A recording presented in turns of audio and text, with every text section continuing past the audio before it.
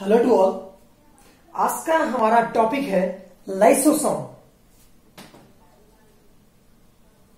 Lysosome जिसे हम lion काई भी कहते हैं। लाइसोसोम ध्यान रखना लाइसोसोम जो है, इसकी खोज करने वाला वैज्ञानिक था। इसकी खोज करी थी डी डुवे ने डी डुवे ने 1955 में इसकी खोज करी थी। ठीक है? लेकिन सबसे पहले इसे देखने वाला, सबसे पहले देखा, सबसे पहले देखने वाला जो वैज्ञानिक था, वो था नोविकॉफ। नोविकॉफ। तो ध्यान रखना हम पढ़ रहे हैं लाइसोसोम, यानी कि जिसे हम लयन काई भी कहते हैं। लाइसोसोम की खोज की है डी डुवे ने 1955 में। याद रखना ये इंपोर्टेंट है, कई बार क्वेश्चन पुटअप किया गया है यहाँ से। और सबसे पहले देखा था इसे नोविकॉफ नामक वैज्ञानिक ने। अगर हम इसकी आकृति की बात कर ले, हम इसके व्यास की बात कर लेते हैं पहले। अगर हम इसकी व्यास की बात करते हैं तो 0.1 म्यू से लेके माइक्रोन से लेके 0.8 माइक्रोन तक इसका व्यास होता है। अगर हम इसकी आकृति की बात कर ले। आकार, आकृति की बात कर लेते हैं इसकी। तो रखना, ये होती है बेग लाइक आकृति। Bag like structure. या इसे हम फ्लास्क के आकार, फ्लास्क के समान भी कह सकते हैं।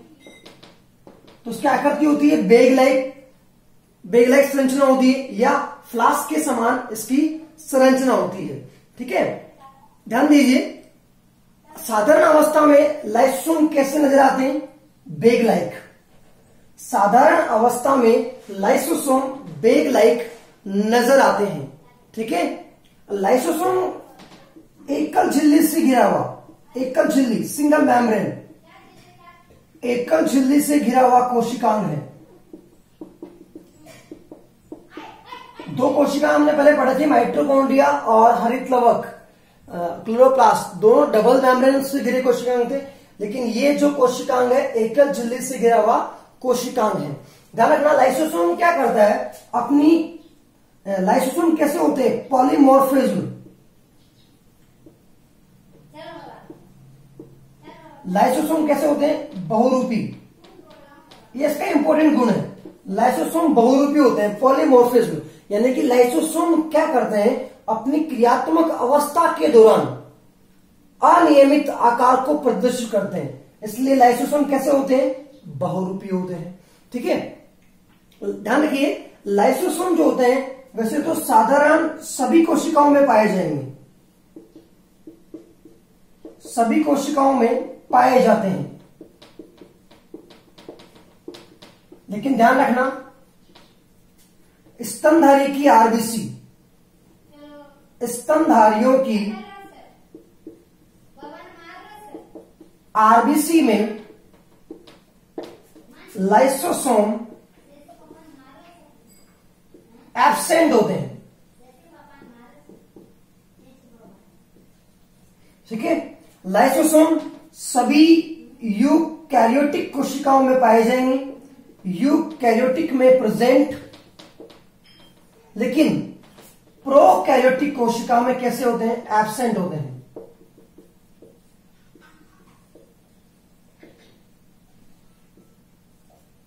ठीक है? पादप कोशिकाओं में भी लाइसोसोम जो होते हैं प्लांट सेल प्लांट सेल में ध्यान रखना कि वैसे तो लाइसोसोम वहाँ एबसेंट होते हैं। तो प्लांट सेल में लाइसोसोम का जो कार्य करती है, वो करती है वैक्यूल रिक्तिका। रिक्तिका वहाँ लाइसोसोम का काम करती है। ध्यान रखना लाइसोसोम जो होते हैं, वो बैक्टीरिया में भी एबसेंट होते हैं। बैक्टीरिया जो होते हैं बैक्टीरिया में भी लाइसोसोम एबसेंट होते हैं। लेकिन ध्यान रखना बैक्टीरिया जो होते हैं, उस बैक्टीरिया में, मान लीजिए कोई भी बैक्टीरिया है, ये, इसके बाहर ये क्या है? सीडब्ल्यू सेलबल कोशिका व्यक्ति, यह है सीएम सेल मेम्ब्रेन तो इन दोनों के मध्य जो अवकाश नज़र आ रहा है आपको, इसे बोलते हैं पेरीप्लाज्मिक स्पेस पेरीप्लाज्मिक स्पेस तो ये पेरीप्लाज्मिक स्पेस ध्यान रखना, यहाँ पर किसका कार्य करता है? लाइसोसोम का कार्य करता है। बैक्टीरिया में वैसे तो लाइसोसोम एबसेंट होते हैं, लेकिन सेल और सेल मेम्ब्रेन दोनों के बीच में जो अवकाश पाया जाता है पेरीप्लाज्मिक स्पेस ये पेरीप्लाज्मिक स्पेस किसका कार्य करता है? लाइसोसोम का कार्य करता है। ध्यान रखिएगा। और इंपोर्टेंट मैं बात करता हूँ यहाँ पे। तो ध्यान रखना। एकल झिल्ली से गिरा हुआ कोशिकांग, ये मैंने आपको बताया है। सभी कोशिकाओं में पाया जाएगा। स्तनधारियों की आरबीसी में ये एबसेंट होता है। प्लांट सेल में वैसे एबसेंट होता है और प्लांट सेल में व्यक्ति का ही किसका कार्य करती है? लाइसोसोम का कार्य करती है। इसके साथ साथ ध्यान दीजिए, ये बैक्टीरिया में भी एबसेंट होता है और बैक्टीरिया में जो पेरीप्लाज्म स्पेस होता है, वो लाइसोसोम का कार्य करता है। ध्यान रखना इंपॉर्टेंट है। जो लाइसोसोम होता है, इस लाइसोसोम में 50 प्रकार के हाइड्रोलेस हाइड्रोलेज एंजाइम पाए जाते हैं। या हाइड्रोलेजेस बोलते थे। हाइड्रोलेज एंजाइम पाए जाते हैं। ध्यान रखना हाइड्रोलेजेस या हाइड्रोलेज एंजाइम पाए जाते हैं। जैसे मैं बात कर लू एग्जांपल की, जैसे lipase protease carbohydrase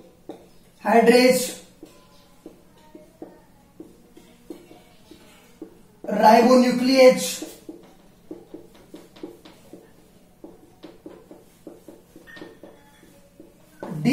deoxyribonuclease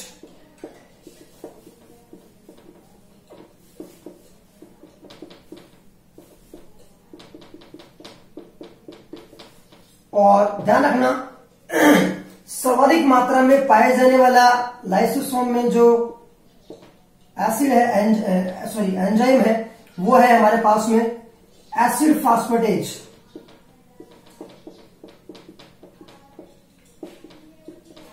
सर्वाधिक मात्रा में पाया जाने वाला एंजाइम एसिड फास्फेटेज तो ये सात, पचास प्रकार के यहाँ पर हाइड्रोलेज एंजाइम इसके अंदर पाए जाते हैं, जिनमें से कुछ यहाँ पर दिए हुए हैं lipase protease carbohydrase ribonuclease deoxyribonuclease और सर्वाधिक मात्रा में पाए जाने वाला एसिड फास्फेटेज ध्यान रखना, ये जो सारे के सारे एंजाइम है, ये क्या कार्य करते हैं बेटा? ये करते हैं कार्य जल अपघटन का।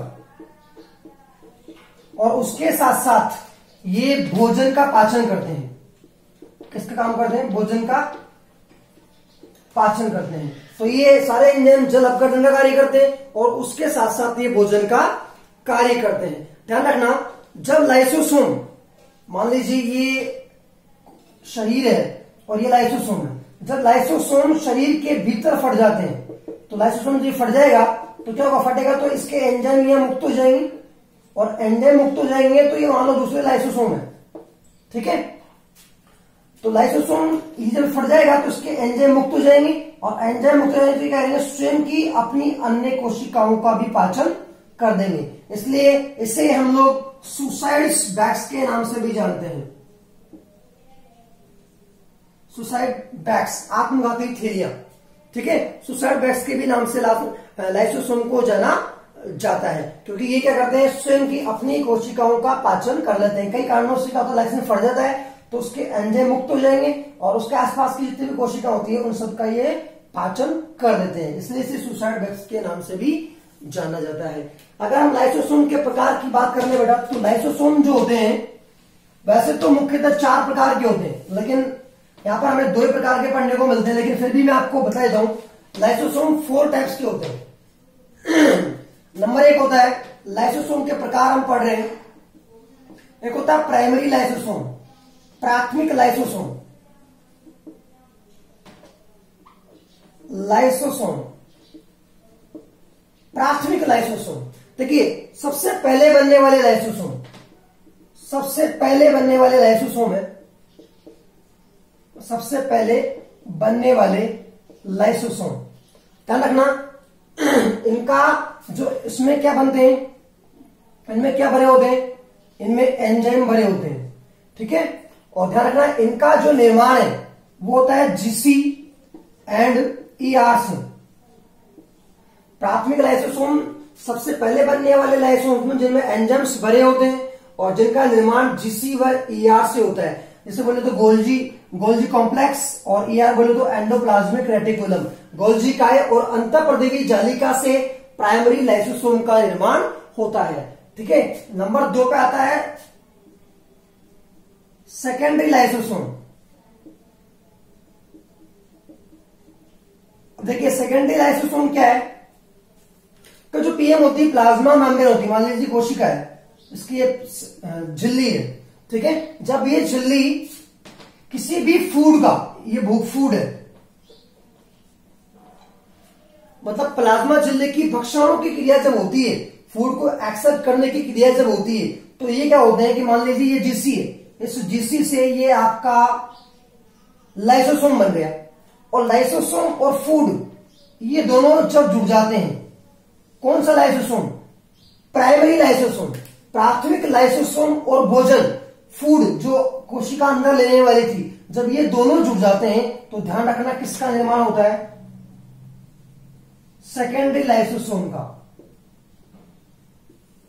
तो ये होते हैं द्वितीय लाइसोसोम जब पीएम होती है, उसकी क्रिया होती है, भक्षणों की क्रिया होती है, ग्रहण करने की तो फ़ूड और प्राथमिक लाइसोसोम जुड़ जाते हैं, जो किसका निर्माण करते हैं? सेकेंडरी लाइसोसोम का निर्माण करते हैं।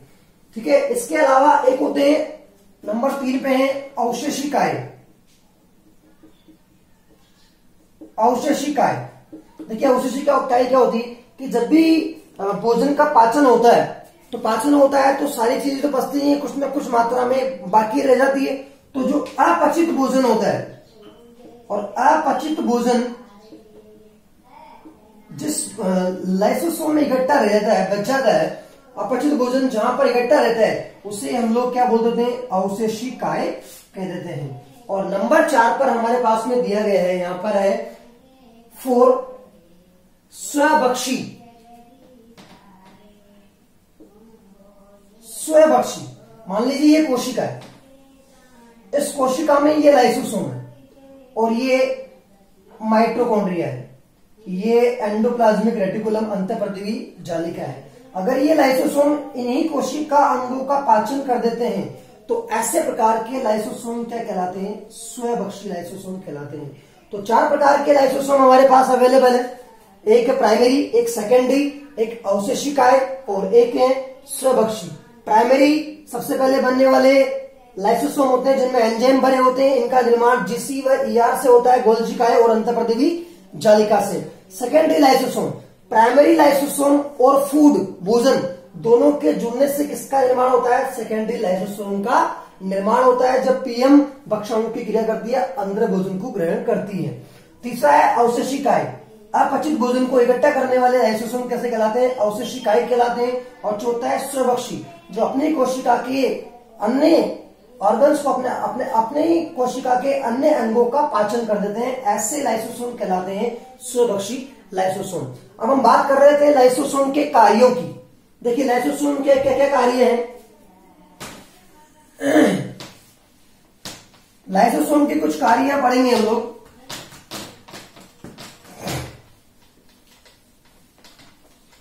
देखिए, पहला कार्य है हमारे पास में बाह्य पदार्थों का पाचन। बाह्य पदार्थों का पाचन। बाह्य पदार्थों का पाचन। देखिए, कोशिका क्या करती है? बाह्य पदार्थ जो होते हैं, बाह्य पदार्थ, जैसे कि बाह्य पदार्थ एक तो होते हैं फेगोसाइटोसिस एक होते पिनोसाइटोसिस। साइटोसिस। द कोशिका फेगो मतलब ठोस कण, जो ठोस होते हैं, उन ठोस कणों को अंदर ग्रहण करना, ठोस बोझ कणों को। और पीनो का मतलब लिक्विड, द्रव पदार्थों को अंदर ग्रहण करना। तो याद रखना, कोशिका जब इन पदार्थों को ग्रहण करती है ठोस के रूप में और लिक्विड के रूप में तो उनका पाचन कौन करता है? लाइसोसोम करता है, बाह्य पदार्थों का ये पाचन करता है। एक होता है अंतर कोशिकीय पाचन का काम भी कौन करता है? अंतर कोशिकीय पाचन। देखिए अंतर कोशिकीय पाचन क्या होता है? देखिए, क्या होता है कि ये कोशिका है। अब इस कोशिका में मान लो बाहर से फ़ूड नहीं आ रहा है, ठीक है? बाहर से भोजन ग्रहण नहीं कर पा रही। तो बाहर से भोजन ग्रहण नहीं कर पा रही तो उसके अंदर जो प्रोटीन होते हैं, जो कार्बोहाइड्रेट होते हैं, लिपिड वगैरह होते हैं, इनका ये पाचन कर देता है। उस कंडीशन में लाइसोसोम क्या करता है? इनका पाचन कर देता है। तो इसी को हम लोग क्या करते हैं? अंतर कोशिकीय पाचन कहते हैं। एक आता है बाह्य कोशिकीय पाचन। बाह्य कोशिकीय पाचन। ये कार्य भी कौन करता है? लाइसोसोम करता है। जैसे कि शुक्राणु आपने देखा है, शुक्राणु क्या करता है? अंडाणु की जो भित्ति होती है तो अंडाणु की भित्ति को गलाने का कार्य भी कौन करता है? लाइसोसोम करता है, जो शुक्राणु के शीर्ष भाग में पाया जाता है। तो ये कार्य भी कौन करता है? लाइसोसोम नेक्स्ट कार्य करता है ये कोशिका विभाजन में सहायता करना। ये कोशिका विभाजन में भी सहायता करता है। आपने माइटोसिस का नाम सुना है? माइटोसिस, समसूत्री विभाजन, उसको शुरू भी कौन करवाता है? उसको शुरू भी करवाता है कौन? लाइसोसोम। नेक्स्ट कार्य है हमारे पास गुणसूत्रों का पृथक करना। गुणसूत्रों को पृथक करना। ये भी किसका कार्य है? लाइसोसोम का। एक और मैं बता देता हूँ आपको कि शरीर होता है शरीर। शरीर के अंदर क्या होता है? कई बार हड्डियाँ बढ़ जाती है, हड्डियों का आकार बढ़ जाता है। तो ध्यान रखना, लाइसोसोम की सहायता से उन हड्डियों को गला दिया जाता है। जो हड्डियाँ अतिरिक्त रूप से बढ़ जाती है, उन्हें गला दिया जाता है। और ये जो क्रिया है, ये क्रिया कहलाती है ऑस्टियोक्लास्ट क्या कहलाती है? ऑस्टियोक्लास्ट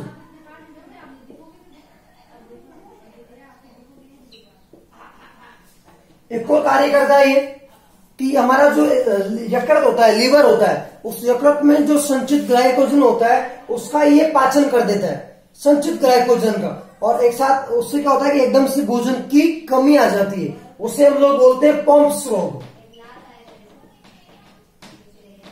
पॉम्स डिज़ीज़ एकदम से भोजन का मतलब लिवर के अंदर जो भोजन होता है संचित ग्लाइकोजन होता है उस ग्लाइकोजन का ये पाचन कर देता है। और पाचन करने से क्या होता है कि उसके अंदर भोजन की कमी आ जाएगी और इस प्रकार के रोग को हम लोग क्या बोल देते हैं? पॉम्स रोग कह देते हैं। ठीक है? लाइसोसोम क्या करते हैं कि, कि एक डिज़ीज़ होती है गिनोपैगी। गिनोपैगी। देखिए गिनोपैगी क्या होती है? आ, हमारे पास में जो एंडोक्राइन ग्लैंड होती है उन एंडोक्राइन ग्लैंड से क्या निकलते हैं? हार्मोन्स और उन हार्मोन्स का भी कौन पाचन कर देता है? लाइसोसोम तो उससे हम लोग क्या बोल देते हैं? गिनोपैगी बोल देते हैं। ठीक है? लाइसोसोम ध्यान रखना एंडोसाइटोसिस और पिनोसाइटोसिस मैकेनिज्म काम करता है। उनको ग्रहण करने का ये भी कार्य करता है। तो ये लाइसोसोम के कई सारे कार्य हैं। ठीक है? और ये हमारा लाइसेंस में खत्म हो जाता है। नेक्स्ट वीडियो में हम नेक्स्ट टॉपिक के बारे में पढ़ेंगे। Thank you